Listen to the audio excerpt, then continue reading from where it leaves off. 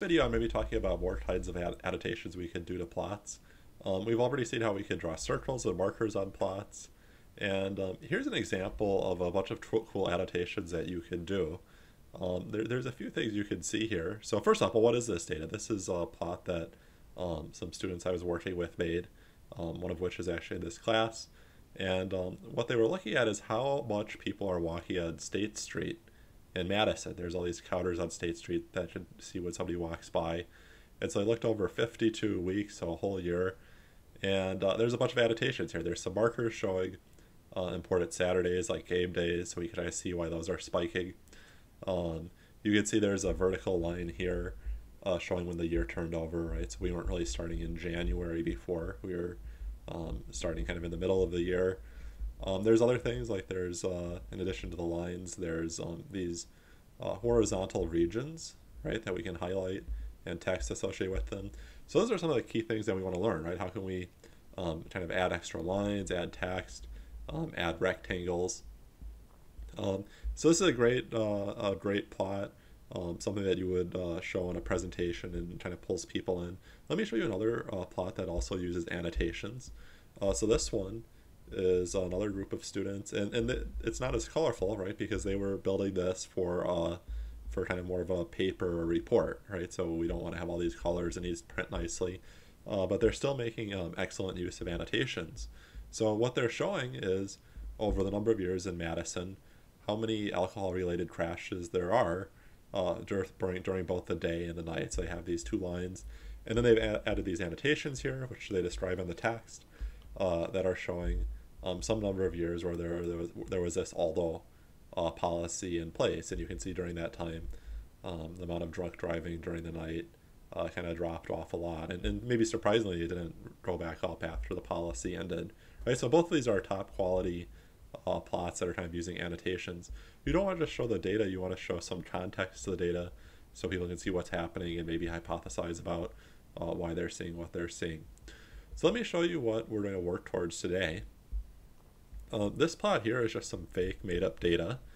And, uh, and so I'm going to just show you as well how you can kind of make artificial data um, so you can kind of play around with these different features, right? I think that's a good thing to do as you're learning to plot. So just I have some fake data, two, two lines, um, and I have a few annotations here. One of the things you're going to notice is that instead of having a legend, uh, I'm putting the, the names of the lines directly next to them. Um, that's going to be generally a little bit easier for people to read. Otherwise, with a legend, you're kind of referencing back and forth. You can't always do that, right? If one line is kind of on top of the other, you don't have room for that. But cases like this, this is a lot better than a regular legend. You're just trying to say like X and Y on the right. Um, what else do we see here? We see that uh, I have some vertical line, maybe marking some sort of event, and then I have a shaded region um, as well. Okay, so let's head over and we'll build that thing from scratch. And uh, and so let me let me head here. Um, the first thing I want to do is I'm going to say uh, from uh, numpy dot random import normal, right? So normal can give us random numbers, right? Every time I run it, it gives me a different number. Um, just to review this, there's some arguments I can give it, like I can tell it, let me let me try this. I'm gonna hit Shift Tab, uh, Shift Tab, and it's telling me what I can pass to normal. I can say the location, so maybe I want the average to be 10. Shift tab. I can say the scale, right? What is what is the standard deviation? So maybe I can say like 5. And um, the last piece here, I can say the size. How many of these things do I want? So maybe now I get 100 numbers that average about 10 and, uh, and with a standard deviation of 5, right? So I can use this um, to build some fake data for that plot right? So what I want to do, right, let, us go back to the plot that we're looking at. Um, I'm, I'm drawing two lines here. And so what that means is that I have to have two columns, right? Along the x-axis, I have 100 points. So I need to have 100 rows and two columns. So let's do that. So I'm going to do something like this. I'm going to say, um, I should import some other things while I'm at it from pandas. Nope. Import pandas as PD. Import matplotlib uh, from Matt uh, from matplotlib import pyplot as plt, um, kind of all that stuff. And then another thing, right, that we always need to do is we need to say matplotlib.rc params uh, font size equals 16. Okay, great. So now, now I have that. Now I can actually go back to what I was doing. I want to create that table. So I'm going to say something like this. I'm going to say um, data frame equals pd.dataframe. And um, and I'm going to create a dictionary of columns, right? So I think what, what I'll do is I'll have uh, maybe like an X column and then a Y column. Okay, and then the last piece I need to say what the index is going to be, and I'm just having the index be the numbers from 0 to um, 100, well, well, I guess to 99 really, but that should be fine. So I'm going to do that. And then, um, since I'm going to have 100 numbers here in the index, I want to put this up here. Oh, what am I doing? I want to put this here as well. So maybe I'll have, uh, you know, that'll be X. And um, so this is going to give me 100 random values there. I'm going to get 100 random values here as well. Um, maybe I'll say this a little bit larger. So I'll say this is like 15 average, maybe slightly higher standard deviation. Still 100 numbers. Uh, let's take a look at that and see how far we are. So I'm going to say data frame and cool, I have these two numbers. And um, you know what I was trying to do last time, right, is I want to just generate some fake data with a rising trend. So right now, if I just say dot plot dot line, I see that the numbers are kind of on top of each other. So what I'm actually going to do is I'm going to say, um, I'm going to say this. So let me look at my data frame. If I say uh, uh, cumulative sum, what it's going to do is the first value will be just this. The second value will be the sum of these two. The third value will be the sum of these three. So I can see, I can see they're kind of both increasing then, right? So, so maybe I'm just going to actually do this up here, and you can see it's applying to both columns independently. I'm just going to do that right away, and uh, then let's take a look at that. Great, I have some nice um, random data to work with. Okay, so let's try plotting that one. So data frame dot plot dot line. Okay, and I see I have the legend. And you know what? Let me make the uh, these standard deviations a little bit bigger, uh, just so that we can actually see some, maybe a little bit more of an interesting line, a little bit bigger as well.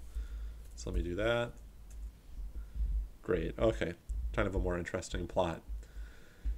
Okay, so like I said, there's the three things we want to do, right? So maybe I'm just going to make a, a note of these. So the first thing is going to be um, uh, text on lines uh, instead of legend. Okay, and then the second piece was a vertical line. Uh, you know, that's maybe marking some event.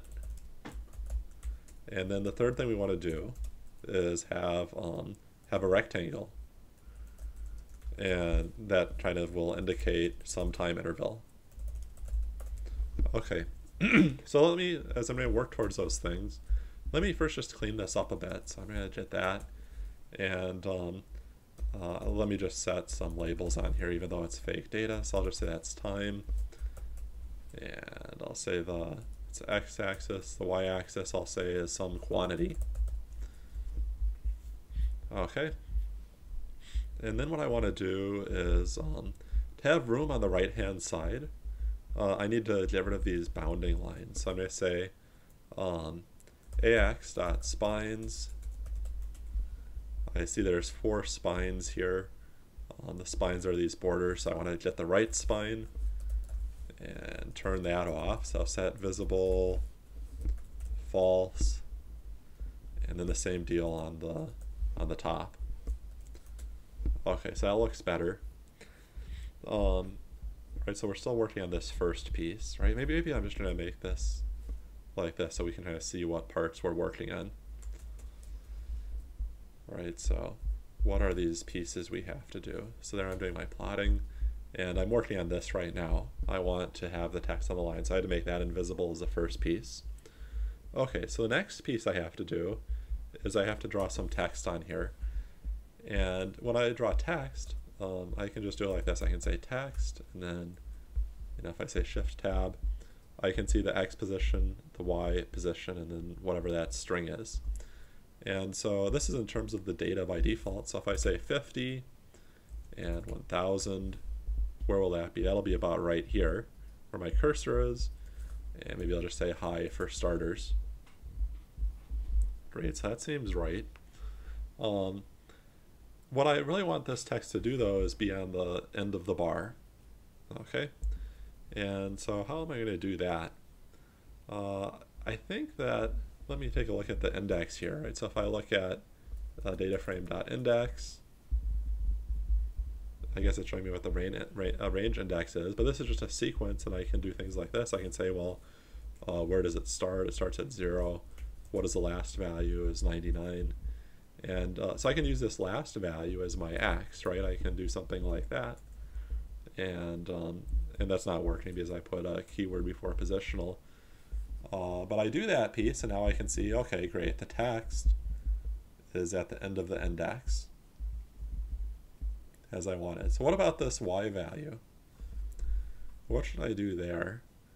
Well, well, first off, I have to figure out what line I'm drawing, right? So I think, what am I doing? I'm saying data frame columns of zero. Okay, so I'm drawing the x column.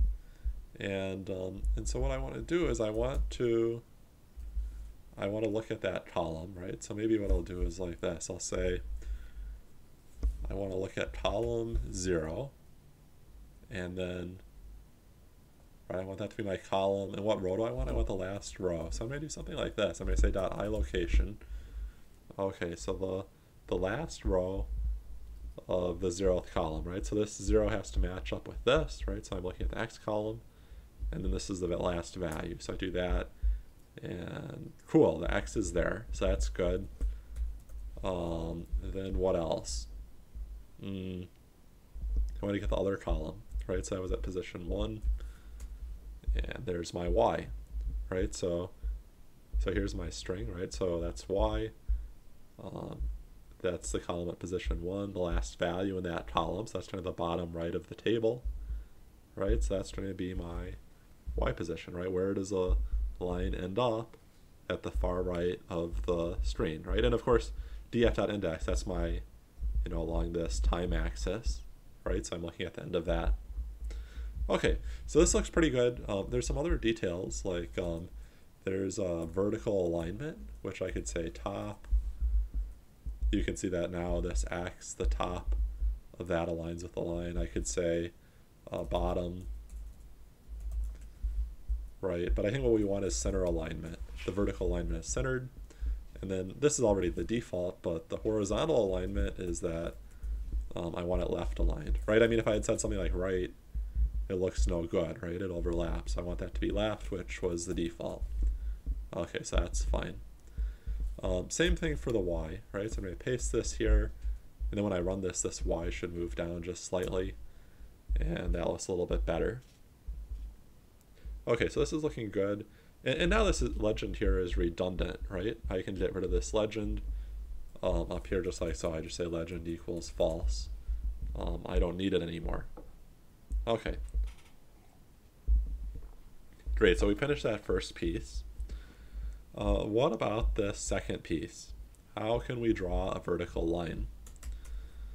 Um, so what we're going to do is, is kind of two parts, right? It's going to be very similar to drawing a circle uh, we have to create a patch somehow and then we have to say ax ax.add um, artist and then we're going to add that patch object right so these are the two pieces um, and so before um, we saw that uh, this was one of the patches right I could say dot circle right that's a patch uh, the patch we're going to do now in order to draw a vertical line here is called line 2D. Okay, so I'm going to be drawing that. Let me hit Shift Tab. When I do Shift Tab, it's showing me all this stuff. And um, and so I see there's some X data and some Y data, right? So I could have um, a bunch of different points. Let me let me just try this, right? So I'm to say like um, zero and then 20 and then 40.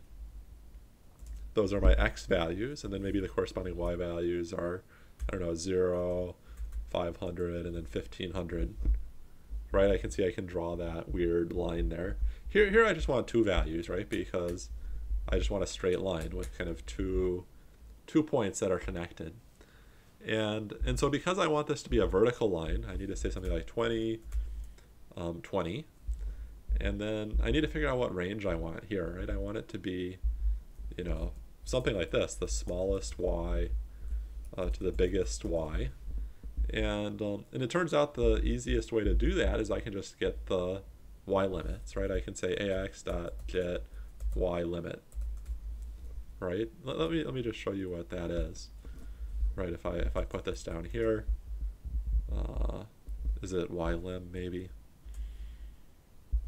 Well, let me fix that, and it is right. So I get that tuple, right? The two y values, right? That's why that's working here, right? I need the uh, first y value and the second y value, and and this is giving those to me. Okay. So that looks pretty good. Um, let, let me make that line a little bit better though. Maybe I'll make it um, red. So R is for red. And, uh, and then there's this other line style thing. Line style equals, and I, I always forget what these are. But the good thing is if I just give it garbage like dot dot, um, the error message actually tells me which ones are supported. Right, I could have a solid line or a dash line or these are often different styles of that. So I could do something like, um, you know, a colon, right? Or I think I could do like dash dot, or maybe what I'll end up doing is dash dash. Great, so I can see that. And you can imagine too what I might do as well is um, add some text here at the top of this to indicate what that event is um, if I don't describe it in the text.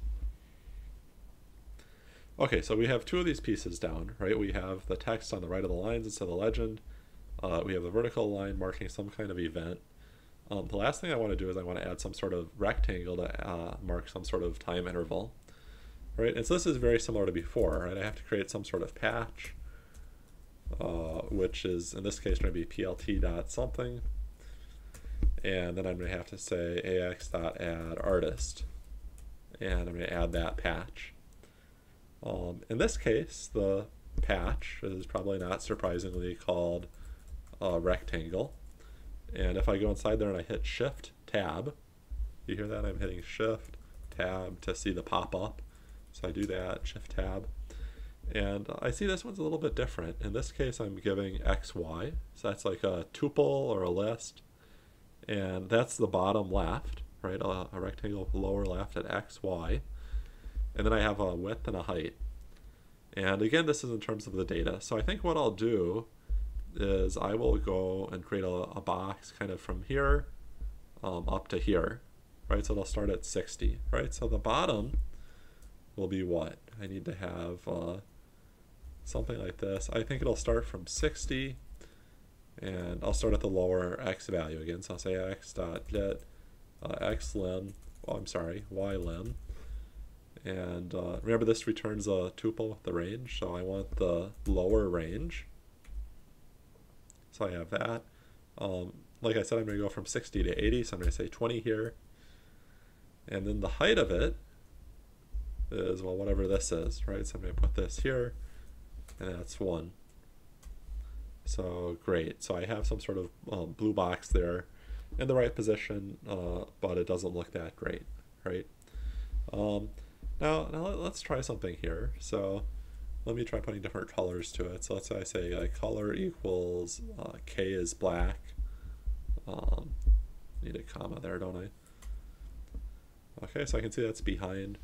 Um, there's this uh, option that you'll sometimes see, which is called Z order, and um, and so everything on the screen, right, has a X position and a Y position, and then the Z order uh, determines if it's on top of other things or behind other things, right? So in this case, right, I have a line and a rectangle at the same place, and I can see that the orange line must have a bigger z order uh, than the black box, right? Because the orange line's on top must have a bigger z order. And so that means this z order must be small, maybe something like negative 5. If I make this large, like let's say I make it 10, you can see it blocks over the data. Okay, so there's a couple options that people will go with. One is that maybe they make sure the Z order is small and they make sure uh, it's a nice light color. So that might be one way people do this. Um, I think what often looks nicer is if we put the box on top and make it black, but then we make it transparent, and we do that with alpha. So if I say alpha equals, well, if I said 1, that's solid, uh, I'm sorry. If I said 1 is a is like a number, uh, that's solid black. If I said 0, it's invisible. So maybe if I say something like 0.2, I can cover up those lines, right? And I think that looks nicer because then the lines are a darker gray uh, for that part of it, right? So this will be a common thing to do. We just uh, don't worry about gray. We create uh, transparent black boxes uh, with a high Z order, right? So we just draw it on top of the existing thing. And so I think that's a nice looking uh, plot. Okay, so we had our three pieces, right? Uh, you can see there's some commonalities between the vertical lines and the rectangles. In both those cases, we're creating a patch and adding it, creating a patch and adding it.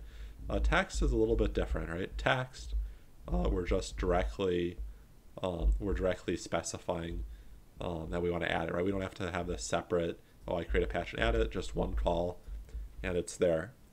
Um, there's one last thing I want to talk about in this video, and that is um, transformations, right? How do we actually draw this box, uh, right? How do I know that 60 is in terms of the data? And it turns out there's a default option here, which is that uh, there's something called transformation, and the default for that is ax dot uh, it's ax dot translate or transform data. And I type that wrong? and it has nothing called transformation. Oh, you know what? It's just called transform. I'm just checking my notes here. Uh, transform, great. And you see that looks exactly the same, right? Because this was the default, right? There's another option that I can have though. And um, let me copy all of this, right? I have to have both these pieces. Um, right, this is a coordinate system that I'm passing in, right? Um, another coordinate system I could do is um, is translate axes. And for translate axes, uh, this bottom left here is at 0, 0, and the top right is at 1, 1. So, so let me just try this, right? So right now if I draw that, that draws nothing else for me. Uh, it's way off screen, and maybe I'll just make it, um, maybe make it like blue so that you can see, okay, it's not showing up. Right, so with this coordinate system, you know 60 that's way to the right of the plot. Uh, but I can I can start at 0 0 and then if I say the width is 0.5 that's going to cover up half my plot. So that'll that'll be to here I guess. And then the height I can say is just 1 right? That's the top of the plot. So I run that thing and now I can say I get this very light blue covering the left piece of it right? So this, this box, right, I'm saying I want to cover up exactly half the plot because I'm using this coordinate system, trans axes, whereas for the first one I was using translate data, right? So these numbers are in terms of what my actual data is. All right.